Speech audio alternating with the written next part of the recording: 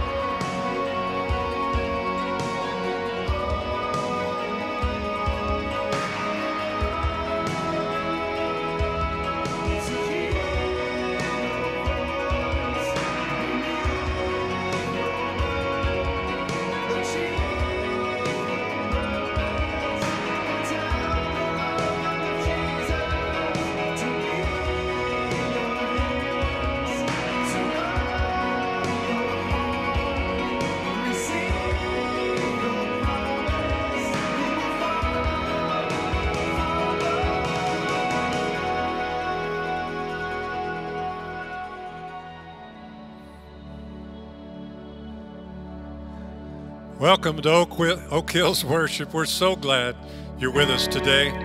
Let me read from Psalm 59. It says, But I will sing of your strength. In the morning, I will sing of your love. For you are my fortress, my refuge in times of trouble. You are my strength. I sing praise to you. You, God, are my fortress, my God on whom I can rely.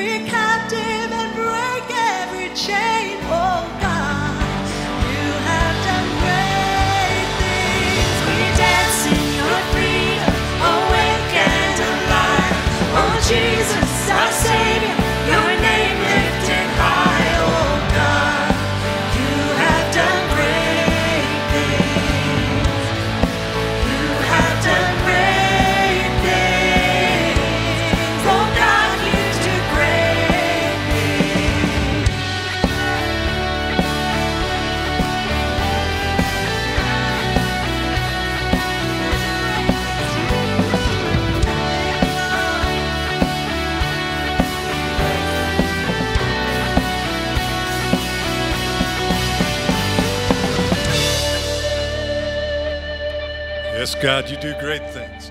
Let's read together from Psalm 24. It says, Who is the King of glory? The Lord strong and mighty, the Lord mighty in battle. Lift up your heads, you gates, lift them up, you ancient doors, that the King of glory may come in.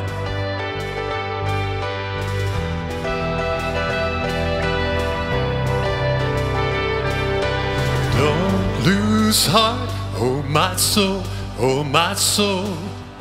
Don't give up, there is hope, there is always hope.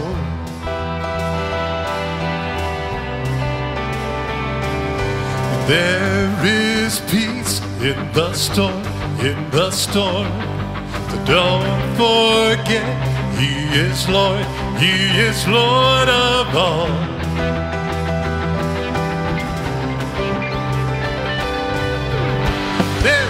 King of glory. There is a God who saves. One who is strong and mighty.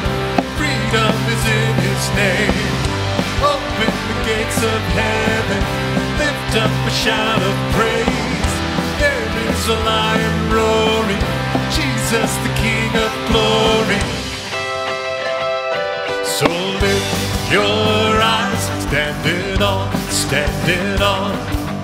There is one, only one, where my help comes from.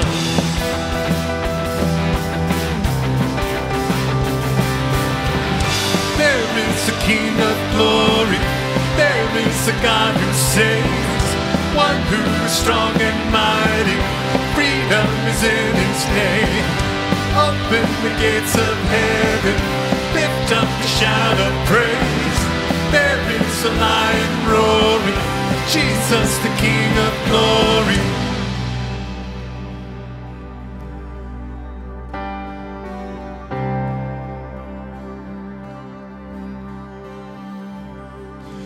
Nations bow, mountains shake at the sound of just one name.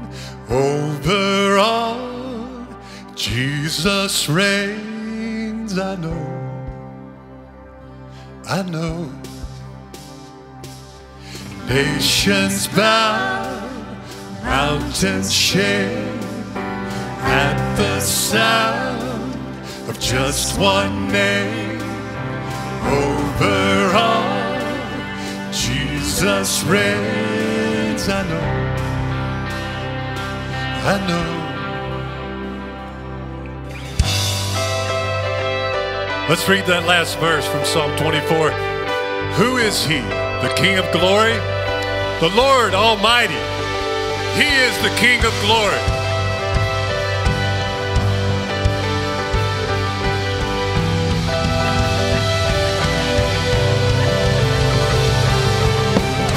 There is a King of glory.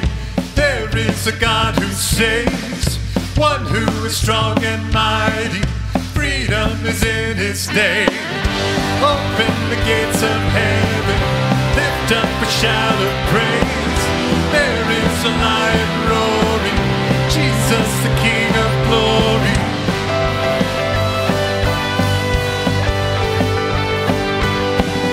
There is a lion roaring, Jesus the King of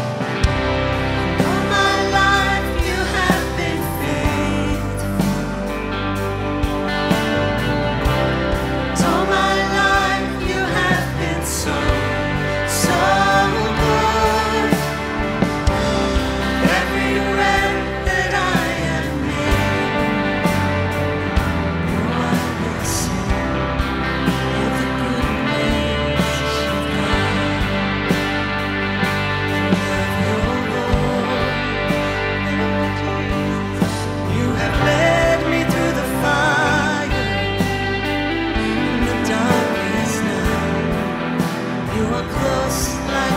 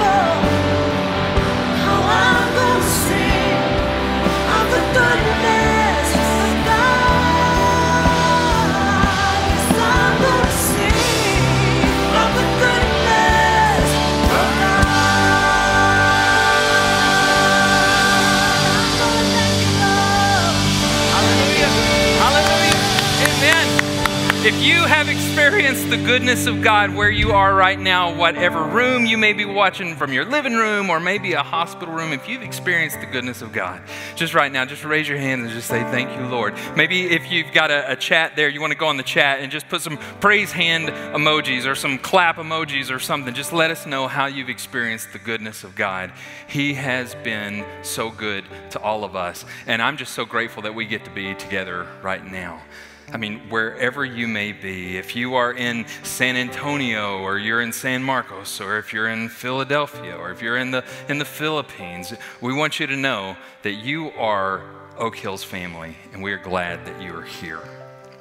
You know, this online church thing, it's as real as you want it to be. Because church, it's never been about a place, it's always been about people. And we want to encourage you as people coming together. We also want you to know that along with this sermon series that we're in right now, Searching for Springtime, we have study tools that go along with it. And I want to encourage you to do that. I love to preach. I love to hear Max preach as much as anyone does, but these study tools allow you to go deeper in your relationship with God, especially if you are going through these study tools with other people and going deeper in your relationship with other people. We can grow together. And that's exactly what we want to do right now. And, and, distance does not have to keep us from doing that. We can continue to grow. Well, right now, I want to I wanna pray for us, and then I want to get us right into our message. Father, we thank you for your goodness. We are grateful that you have you have pursued us. You have run after us. You have not let us go. Even when we were running the other direction, you have, you have still pursued us, Father, that you would send your one and only Son, that we might have everlasting life, that we would not perish. Now, Father, as we come to your word, I ask that you would just show us what it is that you want us to see. Let us hear what it is that you want us to hear. And Father, we want to see Jesus. In this moment, would you bless us to see Jesus and only Jesus? In his name we pray. Amen. Well, we are in a series we are calling Searching for Springtime because let's be honest, 2020 has felt a little bit like a long, long, long winter. And if you're wondering when it's going to be over, well, join the club Many of us are. I, the other day, I, I found this t shirt. Uh, it had Doc Brown, you know, from the movies, Back to the Future movies, and, and Doc Brown, and on it, it said, Whatever you do, don't set it to 2020. I thought, that's funny. And then I thought, yeah, maybe too soon. Because here we still are. We're still right in the middle of it. But speaking of being in the middle of it, Max left us in the middle of the story of Esther last week. In fact, he left us in chapter four, and he left us with quite a cliffhanger. If you are just joining us, I want to quickly catch you up. We have a young, beautiful Jewish girl named Esther who has become Queen Esther of Persia, which is really pretty remarkable in and of itself. But enter, I mean, just about the time that it seems like things couldn't get any better enter Haman the Agagite. Haman is like, he's the villain. I mean, if this were a Victorian melodrama, he'd be the guy that we'd be booing as he walked on stage, you know, twirling his little mustache. Know, I mean, that is, that is Haman. And the, the thing with Haman is he's not just filled with prejudice against the Jews, well, he's also very powerful. And so we've got this, this mix of power and prejudice against the Jews. When one day he comes across Mordecai, a Jew, who refuses to bow down to him. Now, this just makes Haman come totally unhinged. And so, what does he do? Haman goes to the king and he gets the king to sign an edict that basically would allow the annihilation of the entire nation of the Jews, which Esther happens to be one of. Well, this leads us to where we left off last week, and that is with Esther's decision. She knows that she has a decision to make. What is she going to do? She knows that she has to go before the king, but there is just one little eensy teensy problem with this, and this is what we see here in, in Esther 4. All the king's officials and the people of the royal provinces know that for any man or woman who approaches the king in the inner court without being summoned, the king has but one law, and here it is. The king's one law is that they be put to death unless, unless the king extends the gold scepter to them and spares their lives.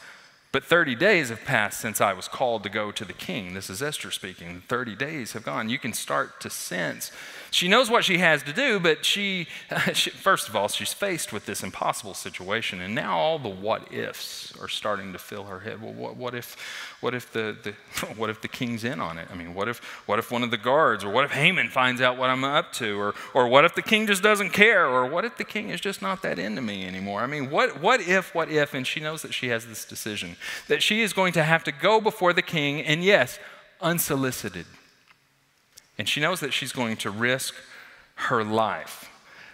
But not only that, think about this. Not only is she going to risk her life for that, but once, even if she gets that far, now she has to challenge one of the most powerful men in the entire empire Haman. And so she knows that she has this before her. But I want you to see what, what happens. We see that on the third day, Esther put on her royal robes and stood in the inner court of the palace in front of the king's hall. The king was sitting on his royal throne in the hall facing the entrance. Let's just, and then he goes on. When he saw Queen Esther standing in the court, he was pleased with her and held out to her the gold scepter that was in his hand. So Esther approached and touched the tip of the scepter. Whew, isn't that good news? She made it. He, there she is. She's in a royal robe. She's standing in the inner court where he can see her from, the, from his throne. And he, he does it. He, he welcomes her in. He extends the scepter. Now, can I just be honest with you for just a second? Just a moment of, of true confession here. Uh, I've read the story many times, and um, as a, a younger less mature me, I have read this story many times, and I just thought, I mean, duh. I mean, there's no, no surprise here. I mean, who couldn't have seen this coming? I mean, everyone knew that he was going to lower the scepter. I mean, if you're confused about this, just do like I did as the younger, less mature me and read Esther 2 7, which says, blah, blah, blah, blah, blah, blah, blah, blah, blah, blah, blah, lovely figure, and was beautiful. Okay, please don't send me any emails. I'm just being honest with you. I'm just, I'm just telling you how, how I approach this. But, you know, she goes before the king, and you think, well, of course. I mean, it was her looks, it was her beauty that got her this far, and surely he's going to welcome her in. You know, what, what is the, the big deal? But if you've read Esther the same way that I did, and, and just kind of a superficial reading, you might think that it was her good looks that, that changed the, the heart of the king. But I would submit to you that there's something deeper going on there. And I don't want you to make the same mistake that I have made. I want us to, to look a little bit deeper and see if there's something else that's going on here. See, I, I no longer believe that it was her good looks. I, I, no longer believe that it was her beauty that turned the king's head and eventually turned this entire story on its head. But there was something else going on. I wonder if we could go back to Esther chapter 4 and see what that is. Let's read together. First of all, we see that this is Esther's desperation. Okay, so her decision has moved to desperation. So, what is she going to do? And so here we come back and we see that Esther sent this reply to Mordecai Go gather together all the Jews who are in Susa and fast for me. Do not eat or drink for three days, night or day. I and my attendants will fast as you do. When this is done, I will go to the king, even though it is against the law. And if I perish, I perish. We see here that her decision has now turned to desperation. But she is not, even though she is desperate, she is not in despair. Why? Well, because Esther knows where to place her trust. And Esther understood this truth. We face our challenge by seeking the face of God first. We face our challenge by seeking the face of God first. It's not that we back down from our challenge, but it's that as we do that, we go to God first. You see, I believe that Esther, that what turned this whole story, it was not just her beauty, you see, because before we see Esther beautiful and brave, we see her bow. But we see her bow not to the king of Persia, but first to the King of Kings. She understood this truth that we face our challenge by seeking the face of God first. It's what she chose to do. And you know, I can't help but think that the Apostle Paul might not agree with this. Let's look at this. We do live in the world, but we do not fight in the same way the world fights. We fight with weapons that are different from those the world uses.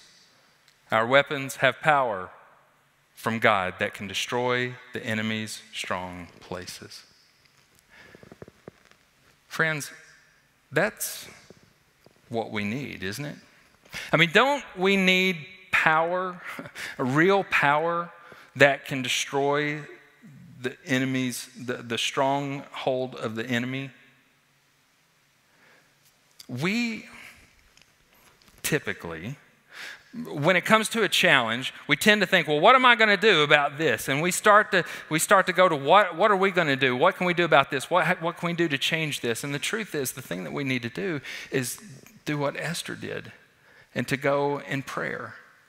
Because this is where the power is that will actually break down the strongholds of the enemy.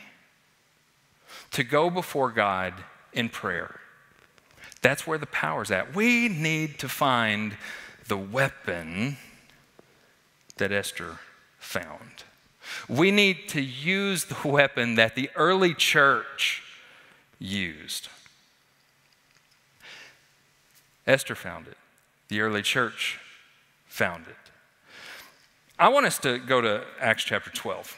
As we go into the New Testament, we see the same thing play out in Acts chapter 12. What's happening here is this time you have Herod. Not Haman, but he might as well have been Haman because Herod hated Christians. And Herod wanted to annihilate all the Christians. In fact, he had already killed James, and his popularity, popularity skyrocketed so fast that he decided to go after Peter and he's captured Peter. And I want you to see here that he, we find Peter. He put Peter in jail and handed him over to the guarded, uh, over to the guards, and this should be 16, 16 soldiers. So they put 16 soldiers around him. Now, I want to last week, Max gave you a little bit of um, multiple choice, and I thought, man, that's fun. Let's do it again. So let's see what the scripture says. I want you to just get the picture. Here, Peter is in jail, and the church is concerned. So, what did they do? Could it be they trolled Herod's Instagram? Okay, not likely. If you're wondering what that is, just ask your grandchildren. How about this one? They picketed for Peter. Hmm, or how about this one? They called their local representative. Uh, okay, how about this one? They planned a jailbreak. I mean, that sounds like something, right? Like you could actually do that. Maybe, maybe that's it. Uh, how about this one? They started a phone campaign. Uh, so, which one do you think actually happened in Scripture? That's right. None of them. Trick question. That's not what the church did.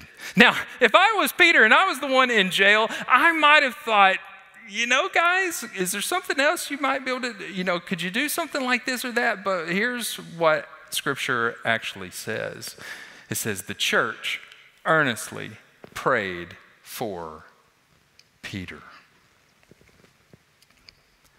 They prayed for him out of options no solutions. All they had was prayer. But because all they had was prayer, I want you to see all that happened. As we continue to read, it says, Suddenly an angel of the Lord stood there, and a light shined in the cell.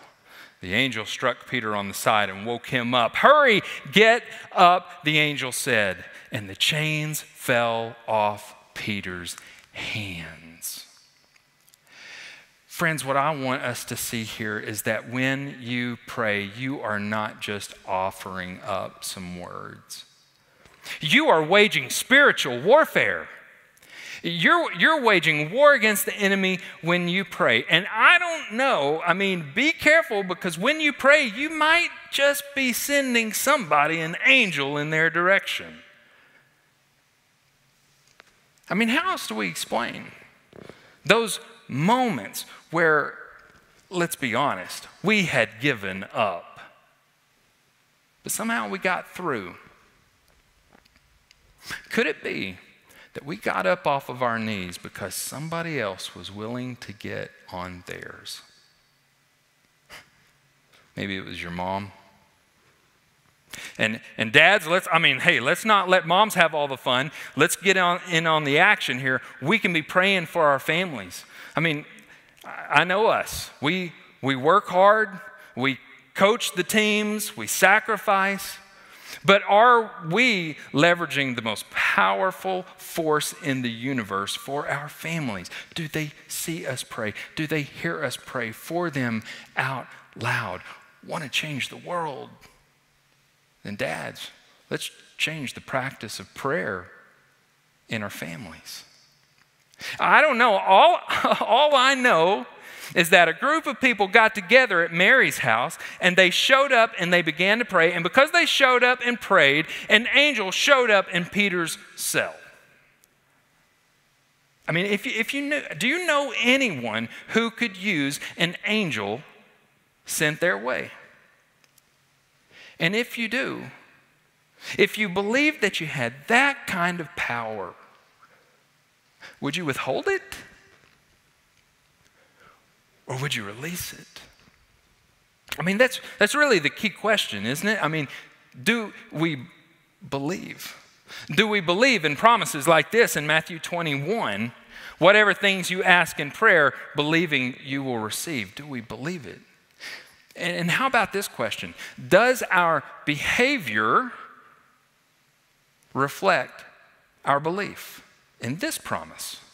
We are confident that He hears us.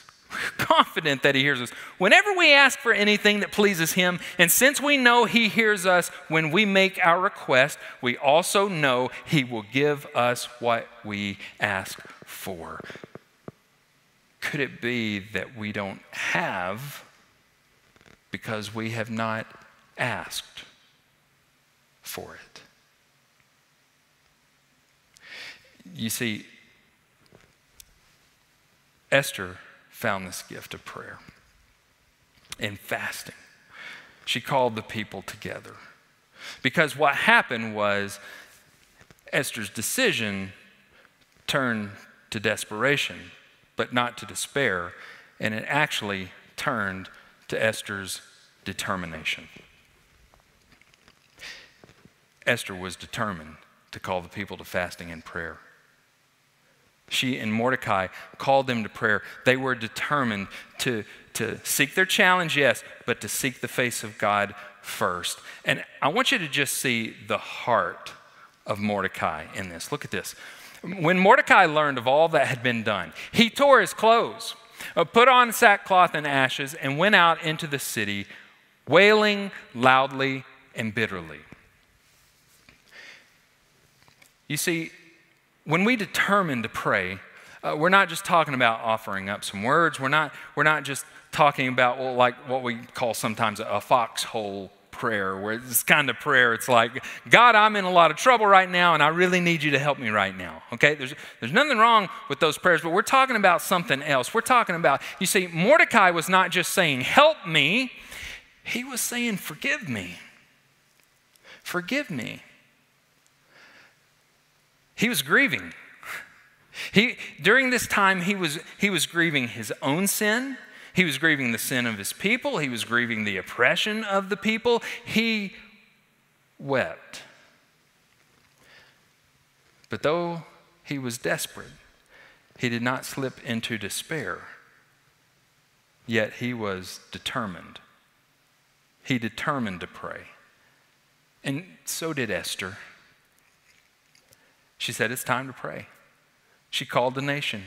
For three days, all right, everyone, here's what we're going to do. Here's the plan. We are going to fast and we are going to pray. And she did for three days. She fasted with them. For three days, she went without food, without water. For, for, for three days, she weakened. You know, it's an interesting thing. Um, a, a, Jewish commentary on the book of Esther reveals that, that the Jews believed that redemption comes on the third day. That redemption comes after the darkness, that redemption comes after weakness. You know, that's really interesting, and I think we see some of these same things taught in the New Testament as well. Look at this God chose what is weak in the world to shame the strong. God chose what is weak. I know, I know, I know, we don't like weakness. We try to stay as far away from weakness as we possibly can, but God has chosen what is weak in the world to shame the strong. God's own Son. He sent him to this earth. Did anyone ever seem weaker than the Son of God being hung on a cross, gasping for his last breath, being laid in a in a tomb. Yet on the third day, God the Father raised his Son from the dead, and he defeated sin and death and gained redemption not only for himself, but for us all. But if you're familiar with the story of Jesus, do you remember what happened before the cross, before the tomb? before the resurrection, if we backed up just a little bit, you would find Jesus in a garden, the Garden of Gethsemane. And what was he doing then? He was praying. Knowing what all was coming before him, what did Jesus choose to do? He chose to pray. In desperation to his Father, but he was not in despair he determined to pursue the will of his Father. He said, Not my will be done, but yours be done. You see, even Jesus knew that we seek our challenges, but we seek the face of God first. Could it be? Could it be that what God is calling us to right now is to seek his face first. Do we have challenges? Of course, we have challenges. But maybe these challenges are an opportunity for us to get on our knees and to point ourselves towards God and to pray to Him and to say, God, you are our only hope. Now, we could try to kind of make sense of things, we could try to figure things out, or we could come to Him in some honest, get on our face, get on the floor kind of prayer with God. Could it be that's the only thing that stands between us in a season of springtime? I mean, what if? What if that's the only thing that separates us? What if the only thing that separates our city from a movement of revival is the church getting serious about prayer? What if? Could it be that God is calling us to a time of prayer? Church, I want to invite you this next week. We're going to practice what we're preaching here, and I want to invite you this next week to join us for a 24 hour period of fasting and prayer. It's going to begin Tuesday evening at 7:14 and it's going to end Wednesday evening at 7:14. Now, if you're wondering, okay, what's the significance about 714? That seems, well, I'm so glad that you asked. Here's why. If my people who are called by my name will humble themselves and pray and seek my, what does that say? Face. Seek my face and turn from their wicked ways, then I will hear from heaven and I will forgive their sin and will heal their land.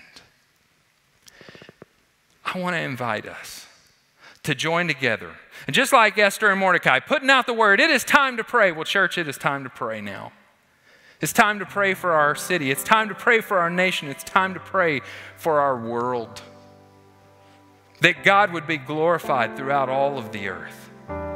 And so I want to invite you to consider that. You know, you may have a lot of questions. Well, you know, uh, here's the thing just make the decision to join us we're going to do a facebook live event at 7.14 on tuesday and then we're going to do one at 7.14 in the morning and 7.14 in the, in the evening we're going, we're going to do this together but here, here's the thing if you need to repent then do it. If you need to shout out, if you need to cry out to God, if you need to file a complaint with God, then do it. Remember who you're talking to. This is your Father. He loves you. He is for you and He is with you, and He sent His one and only Son to die for you. That's the Father that you are talking to. And He is ready, and He is willing, and He is able to rescue you.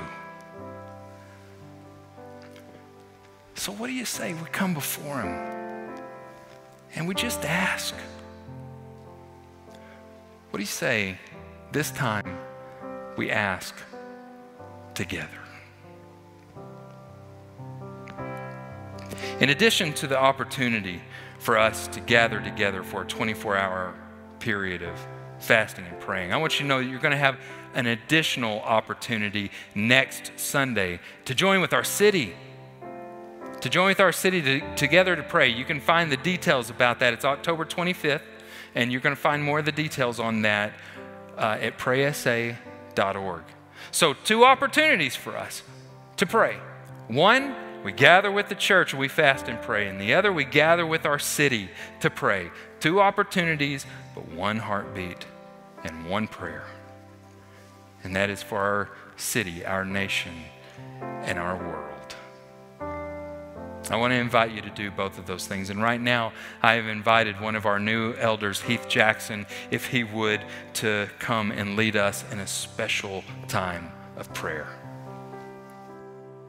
Let's pray for our country. Lord, we come to you today on behalf of this great country. We come to you in a time of overwhelming fear, identity crisis, and increasing division. We're inundated by racial tension, gender conflict, generational strife, political feuds, religion wars, and more. We're a country in desperate need of healing. Lord, we come to you seeking a restoration of a country that was founded in your name and in your holy word. We thank you for your abundant blessings on this land and its people. We thank you for financial wealth that's unrivaled in the history of your world. We thank you for generations of peace and for constitutional freedoms that allow your name to be spoken in public without fear of flogging. We thank you for founding fathers, heroic leaders, military veterans, and patriotic citizens throughout our history. We thank you not only for their bravery, their mental, spiritual, physical sacrifices, or even their lives that were given. We thank you for their pursuit in your name, with your voice in their pens and arms, with your holy word in their decisions, with your strength and protection from evil. We thank you for being a fair and forgiving Father.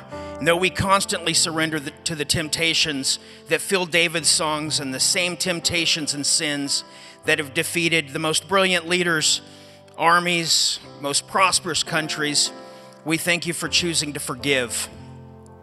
Forgive us of our selfishness. Forgive us uh, for forsaking and ignoring those in need.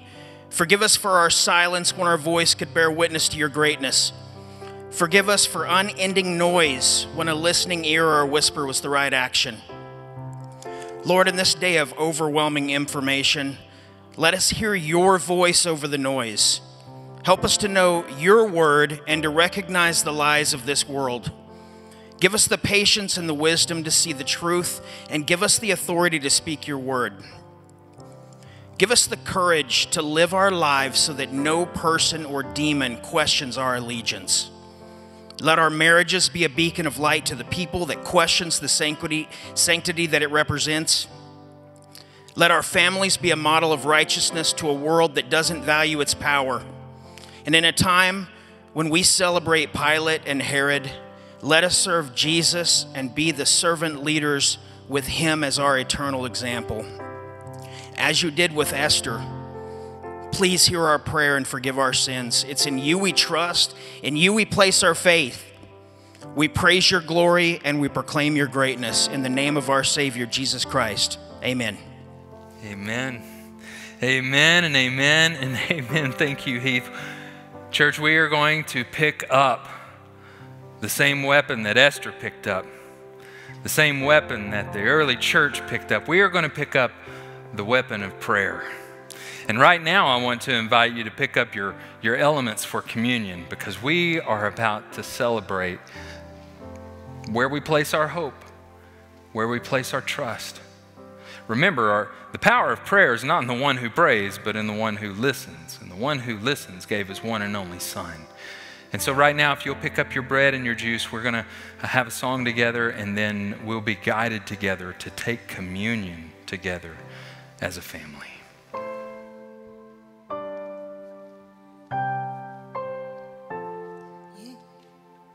You unravel me with a melody.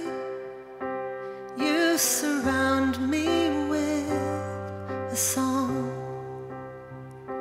of deliverance from my enemies until all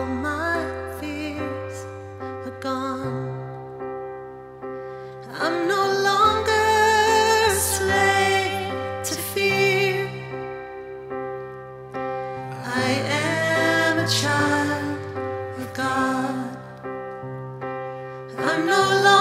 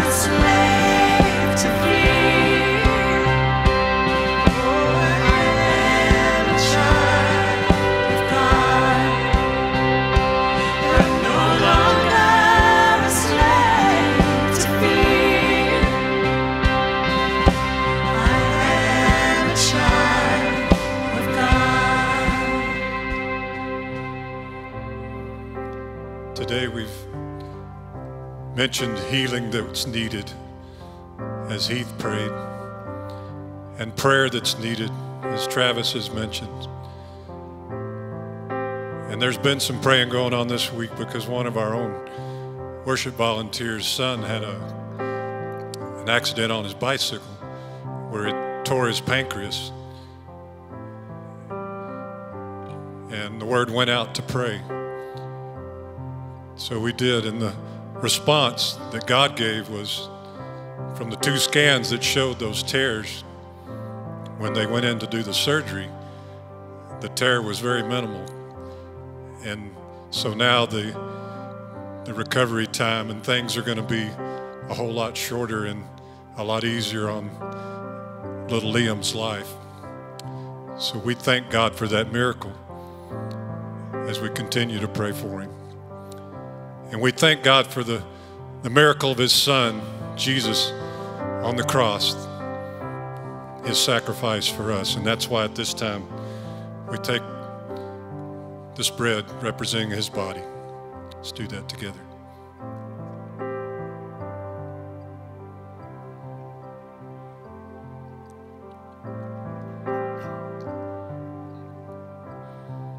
This juice that represents his blood shed for us.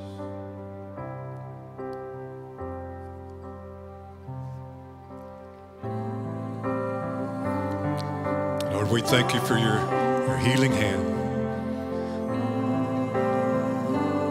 Lord, we lift our prayers to you. We cry out to you, Lord. In Jesus' name.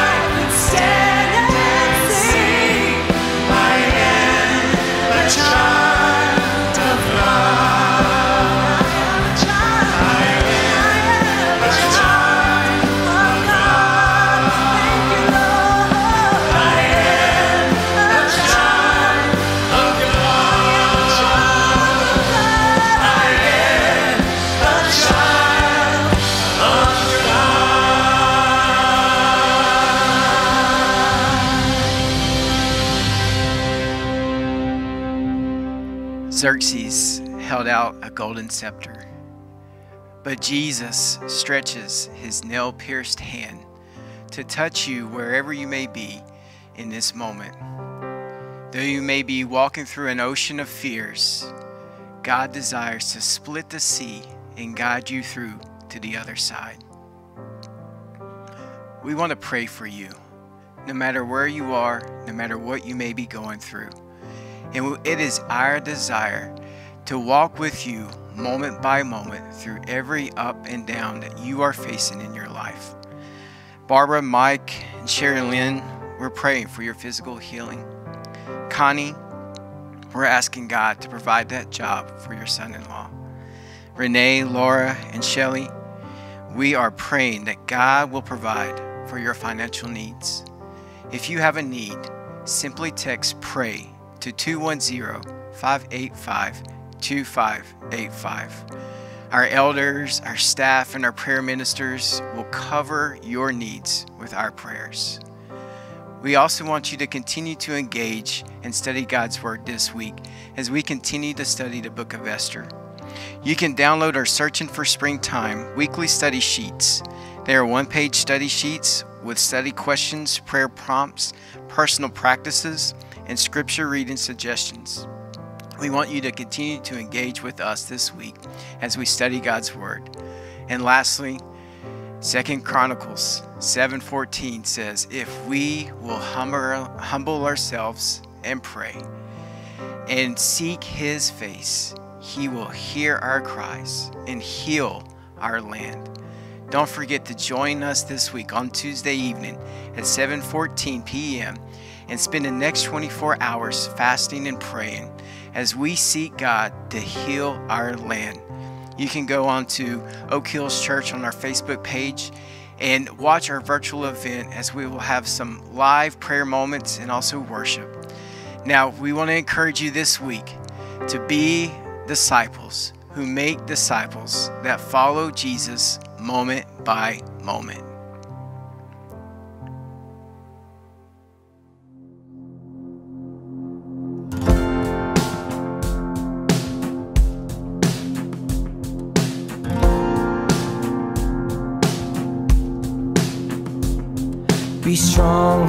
Courageous. Hold on to what is true. Remember his promise that God will deliver you.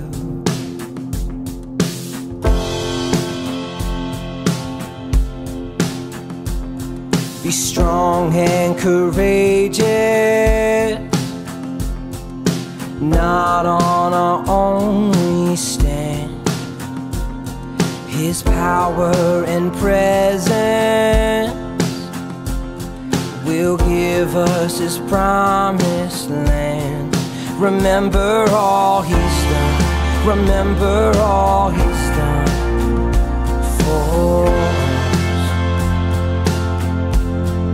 Remember all He's done. Remember all He's